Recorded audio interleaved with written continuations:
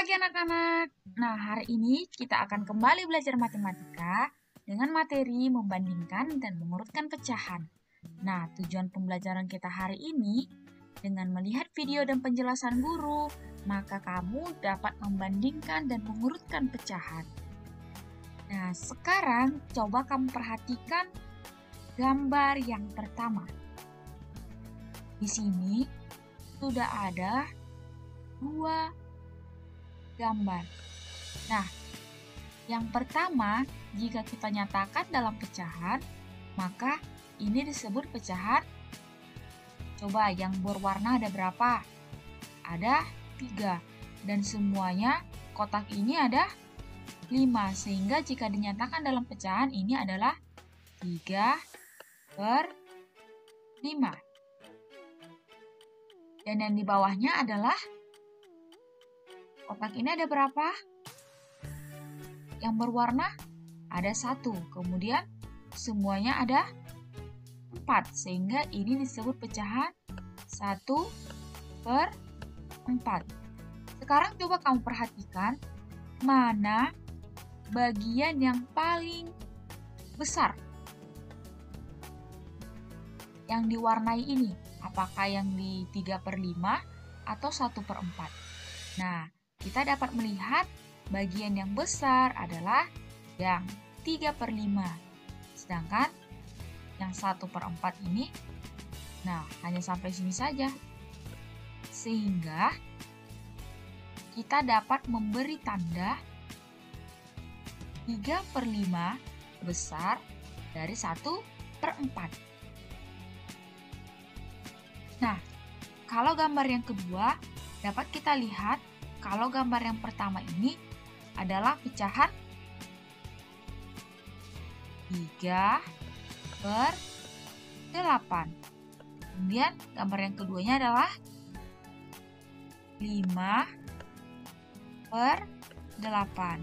Dapat kita lihat bahwa 3 per 8 itu kecil dari 5 per 8. Nah, mungkin di modul kamu di situ tandanya salah ya.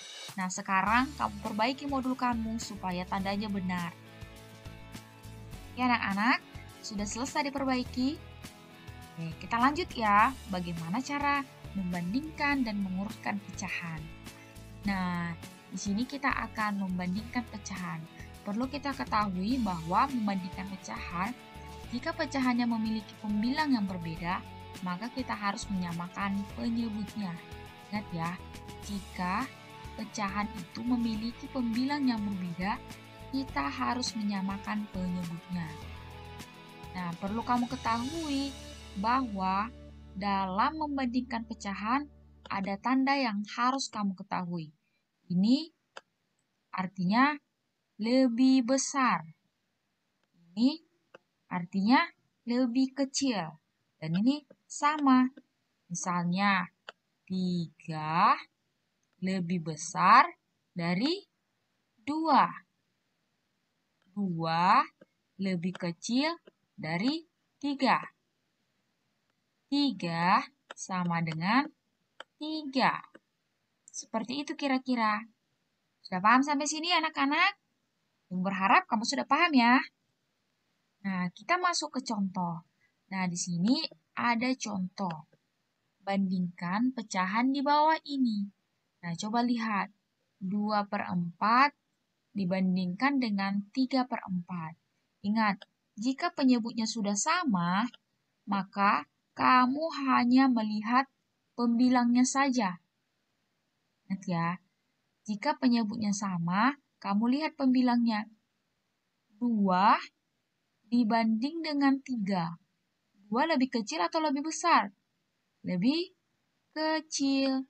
Sehingga penyelesaiannya, maka 2 per 4 kecil dari 3 per 4. Paham ya anak-anak? Sekarang kita masuk ke contoh yang kedua. Bandingkanlah pecahan di bawah ini. 1 per 2 banding 1 per 3. Coba lihat. Penyebut mereka ber berbeda. Penyelesaiannya juga berbeda. Nah, jika penyebut mereka berbeda, maka kita harus menyelesaikannya dengan mencari KPK-nya. Mencari KPK 2 dan 3. KPK itu maksudnya adalah kelipatan persekutuan kecil. Jadi kita cari kelipatan dari 2. Kelipatan 2 itu kan dimulai 2, kemudian ditambah 2 lagi menjadi 4, kemudian ditambah 2 lagi menjadi 6, ditambah 2 lagi menjadi 8, begitu seterusnya ditambah-tambah 2 terus. Ini adalah kelipatan 2. Dan di bawahnya yang 3. Kelipatan 3 adalah 3, kemudian ditambah 3, 6, tambah 3 lagi, 9, begitu seterusnya ditambah-tambah 3. Nah, dari sini dapat kita lihat bahwa KPK-nya atau kelipatan persekutuan terkecilnya yang sama adalah 6. Sehingga kita buat penyebutnya 6. Nah, ternyata 6 itu berapa kali berapa? 2 kali 3.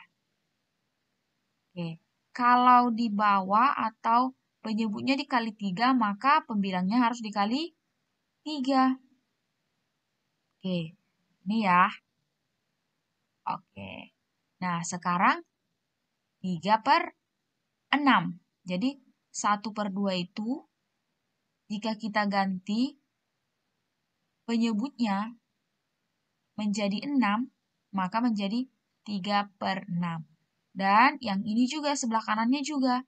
1 per 3 itu kita ganti penyebutnya menjadi 6. Jadi 3 dikali 2 sehingga pembilang juga harus dikali 2. Sehingga di sini dapat kita lihat bahwa 3 per 6 banding 2 per 6. Nah, kita dapat melihat bahwa ini sudah sama penyebutnya. Jika sama penyebutnya, baru kita bisa bandingkan. Nah, ternyata kita bandingkan lebih besar 3 karena berarti yang 1 per 2. Maka 1 per 2 lebih besar dari 1 per 3. Jawabannya ini ya. Sudah paham sampai sini anak-anak? Ya, Ibu berharap kita sudah paham. Ingat ya, cari KPK-nya dulu. Ingat, samakan penyebutnya. Nah, sekarang kita akan melanjutkan contohnya. Nah, di sini ada contoh lagi yaitu 4 per 6 dengan 1 per 6. Kita membandingkan 4 per 6 dengan 1 per 6. Ingat tadi, kalau penyebutnya sama, maka kita hanya perlu melihat pembilangnya mana yang lebih besar. Dan di sini 4 lebih besar daripada 1, sehingga nah, tandanya adalah lebih besar. Ini ya jawabannya. Jadi 4 per 6 besar dari 1 per 6. Sekarang contoh selanjutnya membandingkan pecahan di bawah ini. 2 per 6 bandingkan dengan 1 per 4. Nah, penyelesaiannya kita harus mencari KPK dari penyebutnya karena penyebutnya berbeda, berbeda dengan ini. Ini tadi penyebutnya sama, langsung dibandingkan saja, sedangkan ini penyebutnya berbeda. Jadi kita harus mencari KPK atau kelipatan persekutuan terkecilnya. Kelipatan 6, mulai dari 6, 12, kemudian 18. Sedangkan kelipatan 4 dimulai dari 4, 8, 12, 16, tambah lagi 4 dan seterusnya. Nah, di sini kita sudah menemukan kelipatan yang sama, yaitu 12. Sehingga ya, 12 itu adalah 6 dikali 2. Karena penyebutnya dikali 2, maka pembilang 2 dikali 2 juga. Dan 2 per 6 sama-sama dikali 2 menjadi 4 per 12. Sedangkan 12 itu adalah 4 dikali 3. Jadi kalau penyebut dikali 3, maka pembilang dikali 3. 1 dikali 3, 3. Jadi 4 per 12 lebih besar dari 3 per 12. Nah, seperti itu anak-anak. Maka dapat disimpulkan bahwa pecahan 2 per 6 lebih besar daripada 1 per 4. Nah, selanjutnya kita akan belajar membandingkan pecahan di bawah ini. Nah, sekarang coba kamu lihat. Ini ada pecahan 1 per 3 dibandingkan dengan 5 per 15. Ingat tadi ya, kita mencari KPK-nya. Karena ini penyebutnya berbeda. Nah, KPK-nya adalah mulai dari 3. 3 tambah 3, 6. Tambah 3, 9. Tambah 3, 12. Kemudian tambah 3, 15. Begitu seterusnya. Kemudian 15, 30. Tambah 15 lagi ya, 45. Nah, di sini berarti tetap. Jadi kita harus cari 15 itu 3 dikali berapa? 3 dikali 5. Jadi yang di atas juga dikali 5. Karena ini sudah tetap, maka tetap. Jadi 5 per 15 sama dengan 5 per 15. Artinya pecahan 1. 1 per 3 itu sama dengan 5 per 15. Ini sama ya, walaupun dia angkanya berbeda. Ternyata mereka senilai. Nah, sekarang kita belajar mengurutkan pecahan. Mengurutkan pecahan juga sama dengan kita mencari KPK-nya. Jika lihat pecahannya, penyebutnya berbeda. Jika penyebutnya berbeda, kita harus mencari KPK-nya, yaitu kelipatan persekutuan terkecil dari masing-masing penyebutnya. Jadi kalau 3, maka kelipatannya 3, 6, 9, 12. Ditambah-tambah 3 ya. Kalau 4, berarti ditambah-tambah 4. Maka 4, 8, 12. Kalau 6, 6, 12. Kalau kita melanjutkan terus boleh, tapi sampai sini saja. 12 tetap 12. Maka kita harus menyamakan penyebutnya menjadi 12. Nah, 12 itu adalah 3 dikali 4, maka pembilangnya juga harus dikali 4 menjadi 8 per 12. Kalau yang 4 itu adalah 12 itu 4 dikali 3. Sehingga yang pembilang juga dikali 3, menjadi 6 per 12. Sedangkan ini 12 itu adalah 6 dikali 2. Sehingga 5 dikali 2, 10. 12 itu dikali 1 karena tetap 12, maka di atas juga tetap. Jadi inilah pecahannya. Nah, kalau kita urutkan ini, yang pertama itu adalah yang mana duluan, yang paling kecil. Nah, dari yang paling kecil. Berarti 3 per 12. Kemudian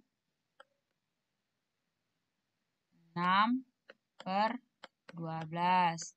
Kemudian 8 per 12. Kemudian 10 per 12. Ini adalah urutannya. Nah, 3 per 12. Tadi 3 per 12 adalah pecahan di awalnya adalah 3, tetap 3 per 12. 6 per 12. Pecahan yang awalnya adalah 2 per 4. 8 per 12, pecahan awalnya adalah 2 per lihat 2 per 3. Kemudian 10 per 12, pecahan awalnya adalah 10 per 12. Ini 5 per 6. Nah, ini adalah urutan yang sebenarnya. Nah, sekarang tugas kamu adalah membandingkan pecahan di bawah ini, kemudian mengurutkannya. Selamat mengerjakan anak-anak. Bye-bye.